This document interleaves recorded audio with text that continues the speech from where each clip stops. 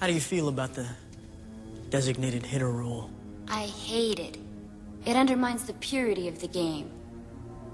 I like pure things.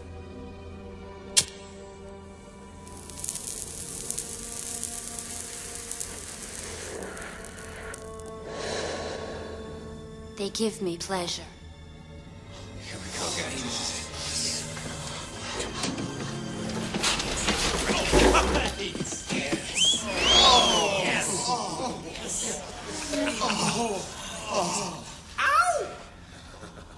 We've detained Misdemeanor long enough. Um, you can go now. Sorry to troubled you. I'm no trouble, detective. But I'm going to need transportation home. Anybody want to give me a ride?